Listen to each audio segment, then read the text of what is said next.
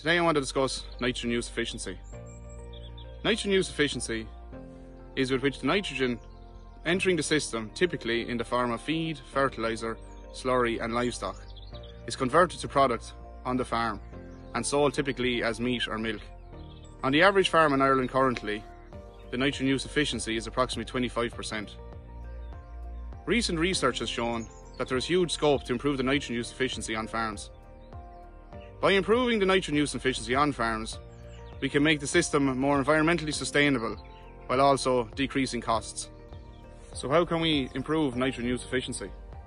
By increasing soil fertility to optimum levels, having pH at 6.3 to 6.5 and P and K levels at index 3, there will be more nitrogen available in the soil and we get a better response in utilisation of any applied nutrients.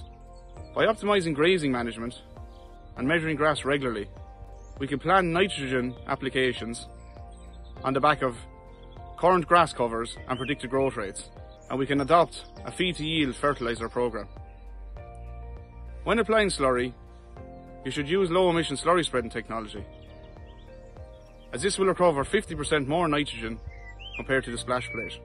By switching to protected urea, we can reduce nitrous oxide emissions by up to 70% relative to CAN and reduce ammonia emissions by up to 80% compared to urea.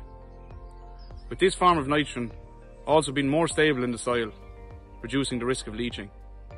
By incorporating clover into our swards, we can re reap huge benefits in terms of reducing nitrogen applications while also increasing production.